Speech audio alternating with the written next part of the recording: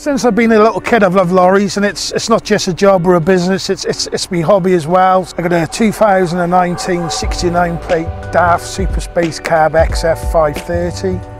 Hi, I'm Mark Stewart. I'm an owner driver based in Oswestry in Shropshire, and this is my DAF. Since a young age, I always wanted to have my own lorry.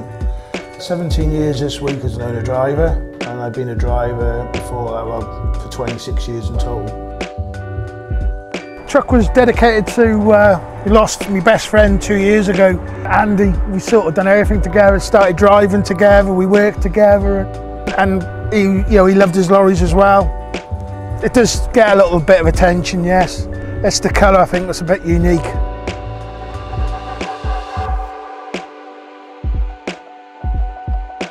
I've gone mainly for red because it sort of matches the truck, but also uh, being a Liverpool fan reds also for that as well.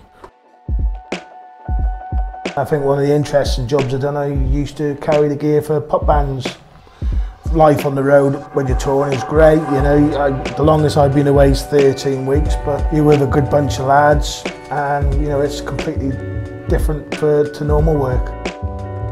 Did a concert for Nelson Mandela and then I went out with uh, Queen on tour and went straight down to Lisbon in Portugal. The last tour we did, I think we did 22 countries in six weeks.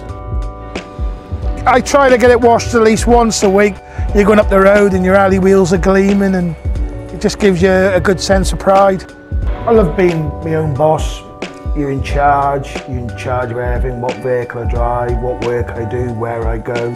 If somebody really wants to have a go at being an owner driver, I'd never discourage them. If you really want to give it a go, I would.